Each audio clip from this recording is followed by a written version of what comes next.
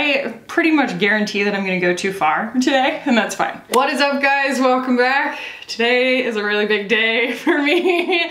If you're new here, you might not know this, but if you're not new here, you know why this is a big day, and it's because I'm gonna be finally getting a chance to do a full face of Venetian Rose, the collection, the thought, the myth from Em Cosmetics, and the reason that I have not been able to do this before is because we have all been waiting in hot anticipation for her to release a Venetian Rose colorway in her Divine Skies eyeshadow palette. Previous to this, we had Magic Hour, we had Faded Clementine, We'll go into all that, but this is the lady of the hour.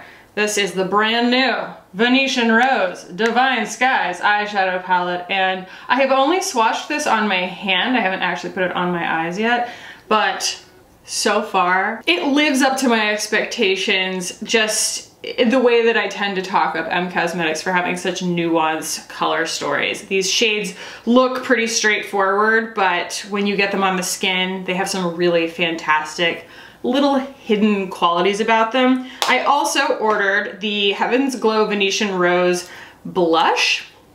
Now, I say I ordered because I used to be on their PR list and then I moved and just something got lost somewhere in there and for whatever reason I've stopped receiving PR. I'm not mad about it. I just want to clarify. You know, it's always important to clarify whether I bought something or not. So I did buy these and um, I'm really excited to try this as well. Obviously you can see I have not touched that either. And so all I have on right now is a little bit of the Auric Glow Lust mixed with some Chantecaille SPF tinted moisturizer. And so we're going to finish my makeup together using all of these things. I also have the Venetian Rose lip, what is this, Infinite Lip Cloud? Is that what this is called? I love this stuff. And uh, that's gonna be the vibe today. And then obviously we will talk about pricing, claims, and I'll give you my final thoughts at the end. So let's go ahead and jump in.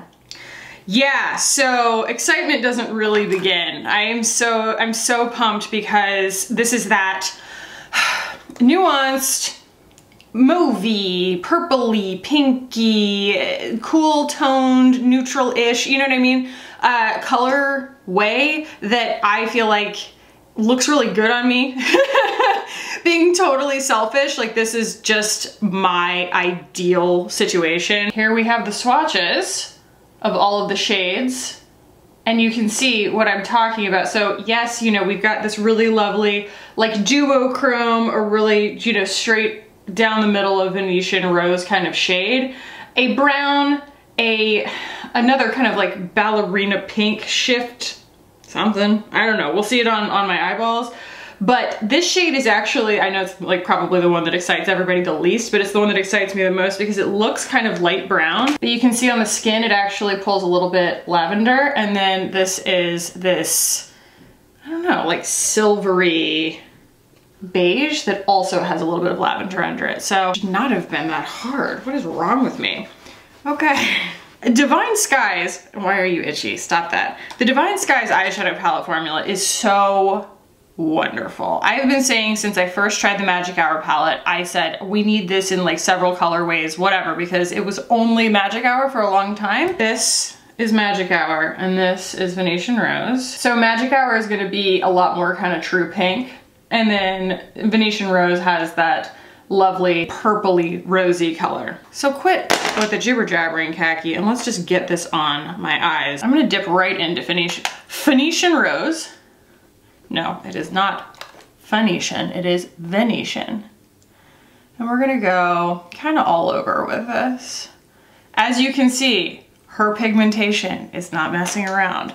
And I do also love Faded Clementine, not just because it is a rare orange and pink color story, but also because it has even more pigmentation to it because it is very much meant to flatter deeper skin tones. So I'm kind of all over the place here, but that's what this one looks like. And it's, I have a whole video on it. It is wild and it is beautiful and it is not specifically for me. And that is absolutely by design and totally fine. So going back in here, I definitely think that the pigmentation on these though is a little bit more intense, just if I'm, you know, if memory serves, than the Magic Hour colorway. That was kind of my only complaint about the Magic Hour colorway it's not that it's not good because it works perfectly for me. It was just that it was the only one that existed. And I was like, okay, yes, that's great that it works perfectly for me. But you know, it's, I'm not, I'm only one person kind of thing. I'm only one skin tone. And I'm so glad that, you know, obviously I'm not the only person who felt that way. And she listened and didn't just, you know, put something out to satisfy people. It was like, she really, I feel like shot for the moon. Everything is just so, so, so well done. And this really has that like love letter to my heart kind of purpley undertone to it. Then I will take a little bit of this beautiful shade. That's probably, yeah, again, that's my favorite shade. It's called Always because it's that ideal crease shade for me. It's not very dark and it just adds, oh, hey, hi, hello. Hello. Hi. Mm-hmm. Perfect. Okay. That sounds great. Oh yeah, we picked the, the middle one. Mm-hmm. Sure. Perfect. I'll do that. All right, sure. All right, thanks. Bye. I have to go take a picture of the serial number on the front of our water heater because, as you can probably tell by my appearance, our water heater died on Sunday and it's Tuesday, so I'm going to put this right here in my crease. Mm. Mm. And then I'll be right back. okay, back to what really matters makeup. As you can see, these pretty much blend themselves. Let's continue. I pretty much guarantee that I'm gonna go too far today, and that's fine. I'm gonna actually go in with a flat brush and use that same light brown shade always, like all over my lid too, here. Kind of play with these mattes a little bit. They are so pretty. You can always hide a world of sins with a beautiful texture of a foiled shadow, shimmer, even satin. But mattes, mattes tell the truth. And if the formula is weak, it will tell on you, especially when you use them by themselves. No primer, no nothing. And these are like velvet. They are so easy to blend. And they're very pigmented. Even that being the lighter brown, I still ended up with like a lot of really great richness and no skippiness, no nothing. Just really, really rich pigment, not even applied with my finger. I'm gonna take this brush. Those were both from Wayne Goss. I'm gonna take this brush from e.l.f. that I really, really like. It is their eyeshadow C brush. I like this because it's kind of, it's really, really densely packed and it's kind of shaped like the end of my finger. so I can take something like this shimmery shade, which is called Charm, I think. And just do the outside here. I wanted to see how they layered, you know? I can do any one of these as like a one and done, but I wanted to see how that one would work over the brown, you know? It's beautiful, absolutely beautiful. Add a little bit of dimension there. Something that I've been really enjoying doing lately is taking something that's more of a highlight shade. So I'm gonna go in with that really highlighty shade called Honeymoon. And I actually use it all the way from like here to like not, it's not just like the um, brow bone area. It's like straight up where the light actually hits on my face. See, like right there? I don't really know why. I'm not sure it's like the most flattering thing in the world, but it's just accentuating what's already happening naturally. And then I'll use that light pink on my actual brow bone. when I say pink, everything in this leans a little bit purple. Mauve mauve. Yeah. Very, very pretty. Take a little bit of that light pinky mauve mauve and add blown out thing down here. So I have shimmer where I want the light to accentuate. I have matte where I want it to absorb. And I still think that I could go in and just deepen ever so slightly, ever so slightly with that darkest brown. Kind of like if I'm looking straight into the mirror, right there at the deepest part of my socket.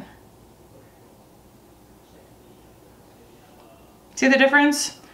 We're not even really like creating an illusion necessarily, like, oh, it doesn't make my eyes look bigger, but it just accentuates what's there.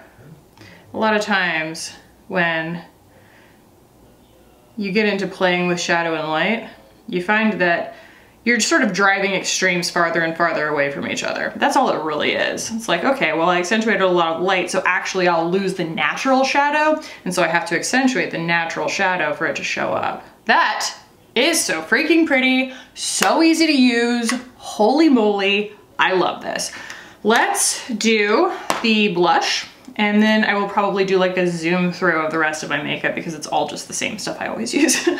the only hang up that I have had in the past with these particular blushes is just that they are all a little shimmery for my taste. So as you can see, that's quite shimmery. She just commits, you know, it's just, that's just the nature of the formula. And I don't actually really love the, um, the color drops that everybody really likes because I find that, you know, I can't really build them up to the saturation that I want without them getting just too wet on my face. So I do own that in Venetian Rose, but I'm not gonna be using that today. I'm looking a little bit like superhero-ish at the moment because of just like the socket effect on my eyes, but that's because I am putting all of these on first. This is not the typical order that I would do my makeup in. I just wanted to show the trueness of these colors before I went in with everything else. I've gotten complaints in the past that if I'm showcasing something like this that is like a, just a blush or an eyeshadow palette, that if I put on a bunch of bronzer first, which would be my normal routine, that it obscures the colors and you're not able to really see the true shade on my skin. And so I'm just going to mix the order up to try and make it a little more useful for you. But here's the thing, okay? And this is why I know that this color is just one of those colors that tends to flatter my skin is because look at my lips right now. Your lips are always a really great guide for your undertones or what colors flatter your skin. That doesn't mean that you have to follow that to the T every single time, but if you do wonder sometimes what direction to go in if something's just like not quite looking right, follow your lips. because for me, you can see that my lips kind of, you know, you would say, oh, they're pink. But if you look closer, they actually have a lot of blue in them. And you can see that when I put a color like this on my cheeks and on my eyes, it really starts to look at home, native to this color on my lips. Whereas if I were to put an orange on or like something peachy or something that's like too red sometimes, you'll start to see that my lips will look either like way too cool or way too pink or just way too like uh, washed out. And that is a signal to me that not necessarily like, oh, this makeup's wrong, but if I'm gonna layer something else on there, I can bring it back home by heading back towards the North Star of the undertone of my lips, if that makes sense. So that is what I use to kind of govern those decisions because, you know, it's the most natural source of, for me, pink, but for a lot of people, just the color that their skin would turn in the sun or if they were to you know, take a jog in the fjords. So um, all that said, I don't really have to worry about that with this because I am already working right within my face's comfort zone. I could just go absolutely nuts with these colors and I fully intend to. Okay, that's a whole bunch of blush. Now I'm going to just go into speed mode and uh, do my bronzer and my everything. And we'll come back and we'll just put the lips on and you guys know the rest.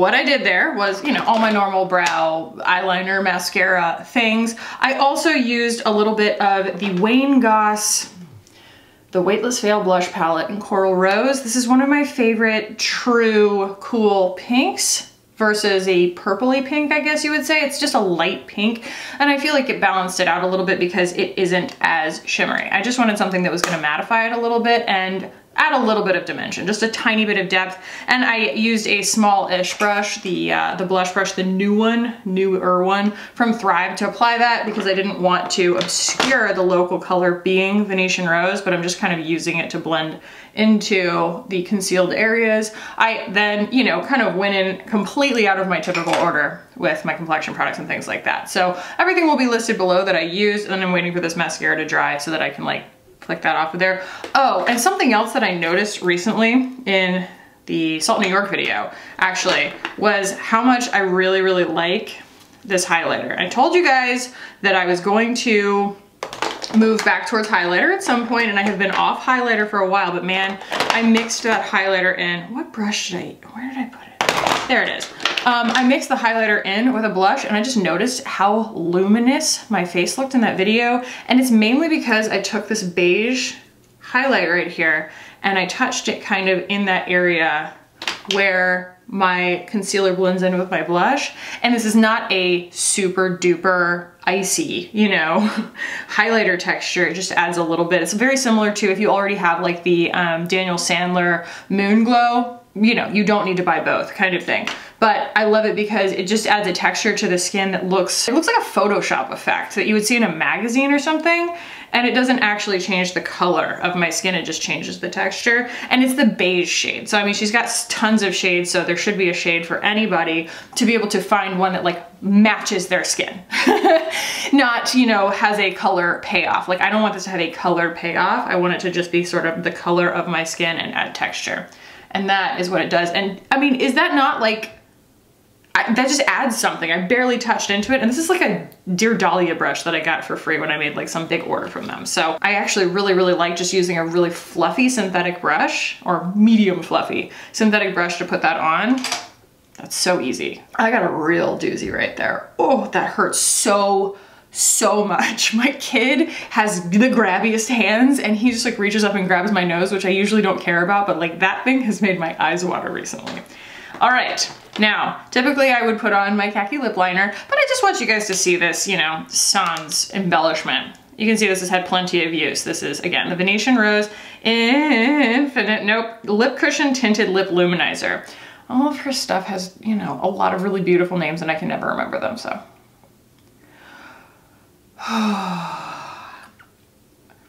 this lip color feels like coming home. Not only is it an amazing formula and State of Kate did, and I'm sure a lot of other people do too, but State of Kate did a video swatching all the shades, which is awesome. I don't even own all the shades of this. And uh, I highly recommend that if you're like, you know, just curious about the formula and everything and all the different colors because they're all really pretty. But also, um, it's just a My Lips But Better kind of color. It's one of the only lip colors that I can wear at like full saturation and feel not too made up, I guess, just because it's so native to my skin tone. So I'm gonna move y'all out and we're just going to briefly discuss all this stuff before we jump into my final thoughts. And then in order to get that kind of thing off, grab a spoolie, the cleanest one you got, and it'll take off dried mascara. I also don't like to really accentuate my cupid's bow. I feel like it's sort of like my face is already really angular and if you accentuate my cupid's bow it just like really over accentuates the angularity of everything. If So, let's talk pricing and everything else on this. Venetian Rose. This is a $40 palette and do not be deceived by the compactness of this compact. This is quite a lot of product and it's very luxurious feeling. It's a very like heavy container. Plus, I don't know, man. I think it's really cool to have these be the shape that they are. They travel really nicely, but also it's easy to find this in your collection. It's flat enough that it goes with everything else. It's not some kind of like weird shape that's gonna like, you know, everything's gonna like wobble on top of or something, but uh, it is like distinct enough that it's easy to find. And I mean, that is just an excellent use of space, if you ask me. Two times 1.5 is three times three is nine. You get nine grams of product total for $40. Please check my math. Oh man, this picture of Michelle Phan, she's, you know, wearing probably a very similar face of makeup to what I'm wearing right now, except very expertly applied.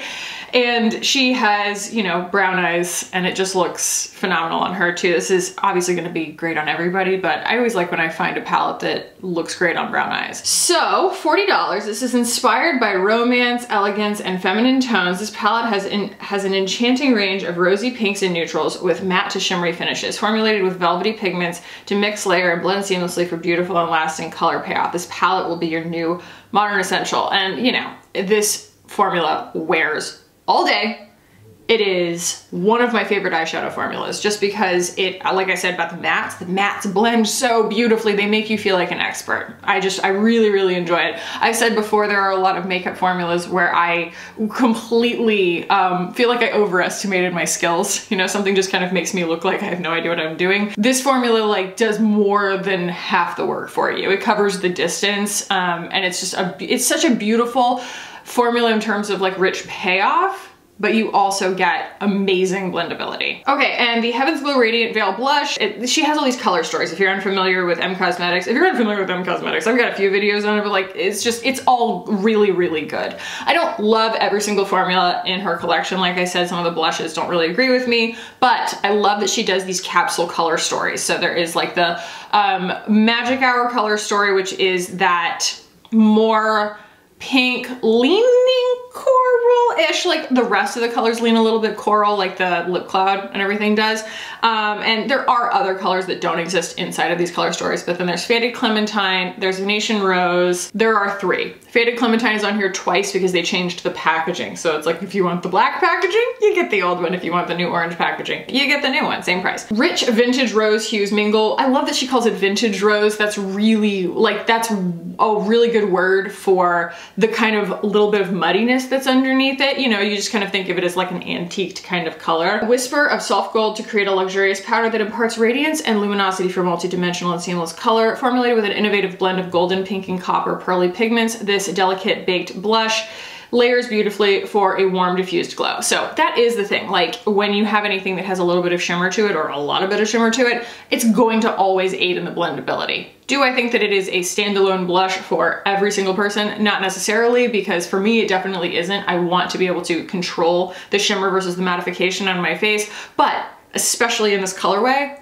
an incredibly good asset to have in my collection. Like it's a very, very unique tool. And then we will talk about that lip. Universally flattering balm luminizes your lips with a sheer touch of color. This is the Lip Cushion Tinted Lip Luminizer. Comes in a clear quartz faded clementine Angel uh, which looks to be a really beautiful pink. Mystic, which is like decidedly purple. Uh, Magic Hour is gonna lead a little bit more of like an opaque, um, pinky to coral-ish. It looks pretty coral on me. And then we have Venetian Rose, which is this lovely dusty purple-ish leaning mauve color. It says it's a vintage rose, again. So Universally flattering, Venetian Rose with Vintage Rose shade luminizes your lips with a sheer touch of color. Formulated with a nourishing blend of hyaluronic acid and vitamin E, this ultra comfortable balm melts on contact into a luxurious cushion texture with a glossy finish. Yeah, just to touch briefly on this formula, it is wild because, you know, it comes in this little crank up situation and you're like, oh, it's gonna be a lipstick.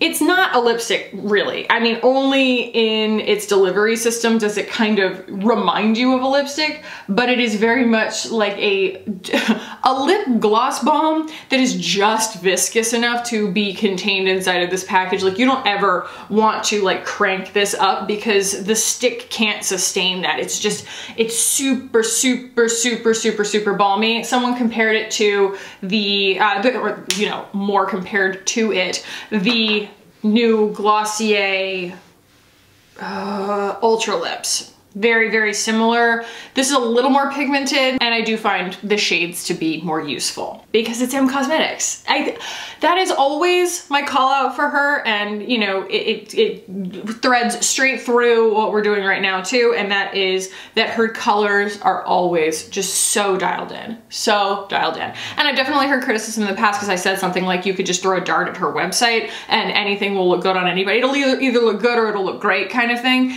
And some people are like, yeah, well, but you're a white girl, you know, and this stuff is kind of primarily like centered around looking good on someone like you. And I do agree with that. And I do think that, you know, obviously every brand could do better kind of thing, but um, she is definitely moving like with the Faded Clementine, with fleshing out Faded Clementine before she went with Venetian Rose, I do feel like it did give just a whole new group of people um, an entry point to her brand. So smart from her standpoint, but also just really a lot more accessible and a lot more fun for a lot more people. And, um, you know, obviously purple doesn't look good on everybody, but this has a lot of saturation to it, a lot when these eyeshadows, I put these eyeshadows on, like I do think that they will show up on most skin tones. Whether they flatter you or not is, you know, completely personal. So let's move into my final thoughts here, shall we? So talking about, obviously, I mean, the lip, this is something that you guys probably, I was like a broken record on for a while because this has been out for a while. I think the first time I put it on, I was like, whoa, whoa, whoa, whoa, whoa, what? Because it's just so rare that I find something that's this pigmented